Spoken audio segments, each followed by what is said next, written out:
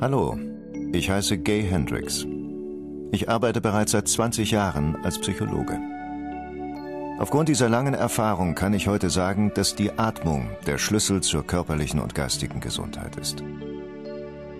Gesetzt den Fall, ich dürfte nur eine einzige Behandlungsmethode bei meinem Patienten anwenden, dann würde ich Ihnen zeigen, wie man richtig atmet. Dabei würde ich Ihnen genau die Techniken beibringen, die Sie jetzt lernen werden. Ich bin heute von der Atemtherapie überzeugter als je zuvor.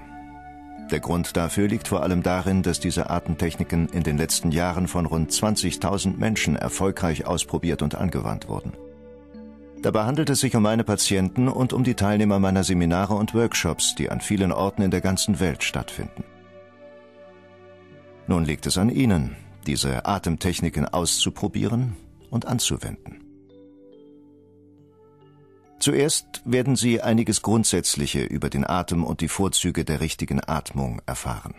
Danach werde ich Ihnen vier wirksame Atemtechniken zeigen. Diese Techniken sind äußerst nützlich. Sie werden Ihnen helfen, sich besser zu konzentrieren, mehr Kraft und Energie zu gewinnen und besser mit negativen Gefühlen umgehen zu können. Sie werden auch lernen, wie Sie Ihren Atem einsetzen können, um innerlich ruhig und gelassen zu werden. Und wie diese innere Ruhe zu einem Bestandteil Ihres Lebens werden kann.